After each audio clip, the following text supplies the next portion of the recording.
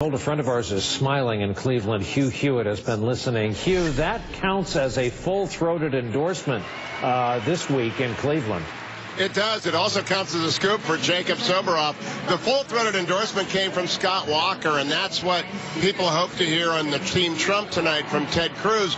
But as Chuck Todd was talking to Mike Lee earlier, uh, there's built in here. People are going to be watching the Ted Cruz speech very, very closely to see if he delivers the same kind of uh, emphatic vote for Donald Trump that Scott Walker did. Uh, Mike Lee included in there, I don't know if anyone listened to it, uh, Justice Jackson reference to leaving pistols lying around on tables. They're worried about the precedent of supporting someone outside of the mainstream of conservatism, as Justice Jackson worried in the dissent in Korematsu. But Mike Lee, Ted Cruz, they got to look at Scott Walker and Nikki Haley and say to themselves, Either Trump wins or he loses. If he wins, we'd better have been with him if we want our political careers and our people to go forward.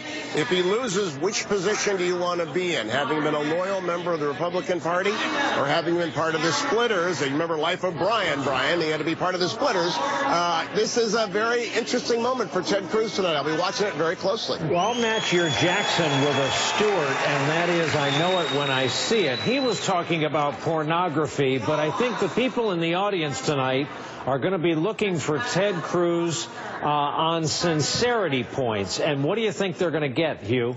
Uh, I think Ted Cruz is going to endorse. Uh, I could be completely wrong. I have no idea, but I think he's going to endorse Donald Trump.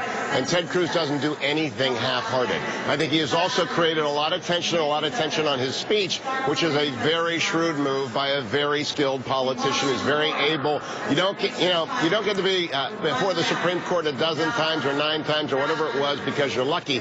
Ted Cruz brings a lot to the game, and he's created some interest before Mike Pence. And so I like the way this uh, this night's unfolding. Walker amped it up. Laura Ingraham gave a good speech. Uh, Walker amps up. We pay attention to Ted Cruz, and then hopefully Governor Pence, from the perspective of a Republican, comes out and knocks it out of the park. Uh, you know, a Mike Napoli home run for Indian fans. That's a radio veteran right there. Hugh Hewitt, ladies and gentlemen, his excitement building in